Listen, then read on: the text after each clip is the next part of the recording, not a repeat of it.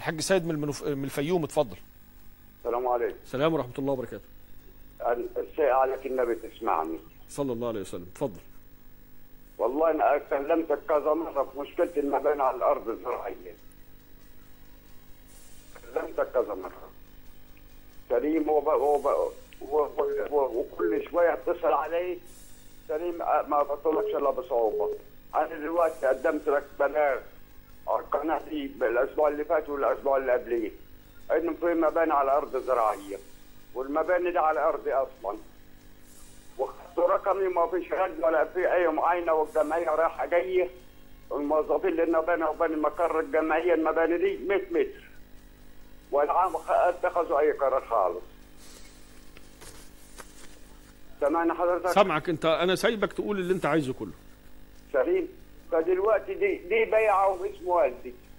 سليم وأنا خلصت ثمنها الجار يحذف منها حتة كنت سايبها لأن المية ما كانتش بتركب باتصالها. جبنا عليها وقدمت كذا شكوى. ورحت للوحده المحلية، الوحدة المحلية تقول لي لا ده مش تبعنا والإدارة تقول لك لا مش تبعنا، أمال تبع مين؟ هي في زمان مين؟ أنا عايز أعرف إن دلوقتي إحنا دار القانون أسيب القانون يعني وأبقى راجل متخلف. هو اللي بيقولوا لك. مش تبعنا المشكلة هي اللي مش تبعهم. يعني هو في نزاع على الأرض نفسها.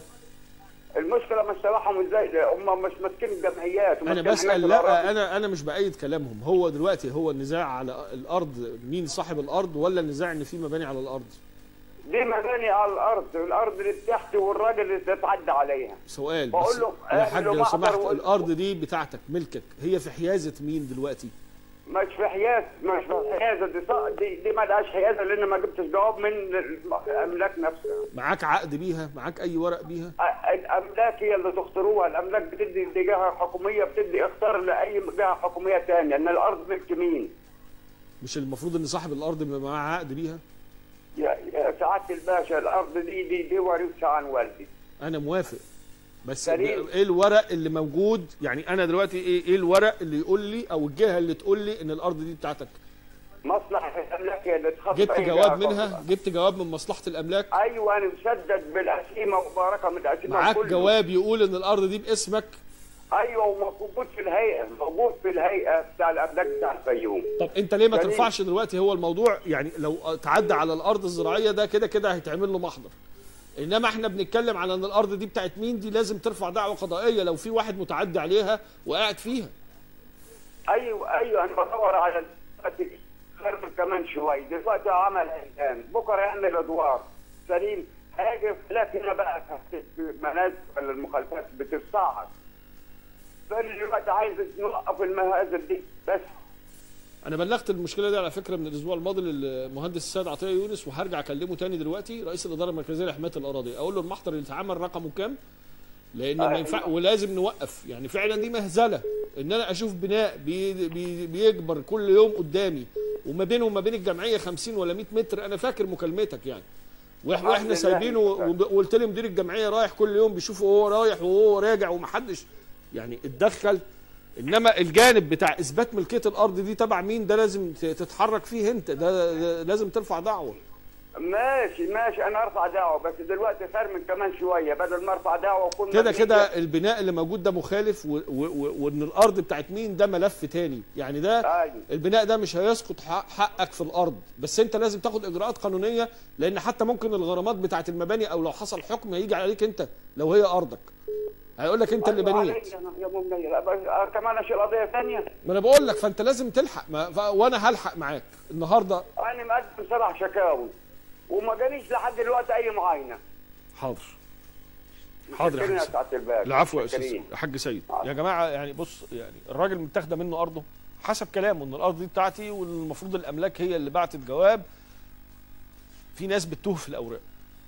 يعني في وفي في ال- في الريف المصري ناس كتير. بعيدة عن منظومة الأوراق دي والدنيا ماشية معاهم ومستقرين على كده. إنما هو النهارده هو واقع في مباني على أرض زراعية وبيقول لك دي أرضي وأنا مش موافق على المباني والراجل ده متعدي عليها.